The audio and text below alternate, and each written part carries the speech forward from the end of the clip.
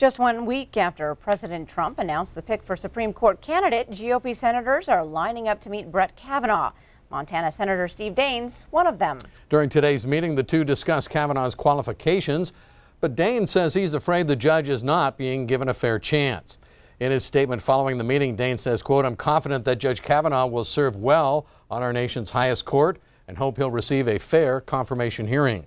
Senator Daines says he discussed the nominee on Air Force One with President Trump while they traveled to Montana earlier this month. Now, Daines also joined President Trump at the White House for Kavanaugh's nomination announcement on July 9th.